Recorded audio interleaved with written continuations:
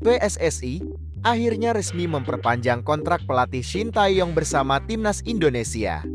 Sang juru taktik dipastikan akan tetap menukangi skuad Garuda setidaknya hingga tahun 2027 mendatang. Sebelumnya, Ketum Erick Thohir sudah ngode untuk memperpanjang kontrak Shin Tae-yong.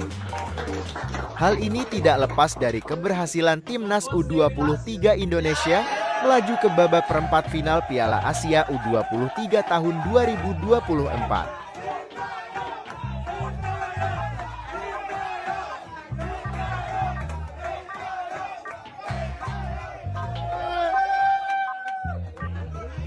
Sejak menukangi timnas Indonesia, Shin Tae-yong telah mengukir sejumlah prestasi bersejarah.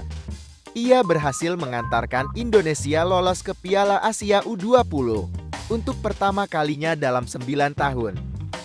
Indonesia juga lolos ke Piala Asia untuk kali pertama dalam 18 tahun dan mengukir sejarah dengan mencapai babak 16 besar.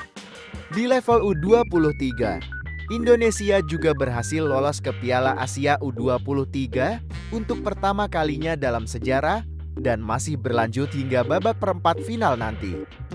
Dampak kehadiran Shin Tae-yong terhadap posisi Indonesia di ranking FIFA juga terlihat nyata.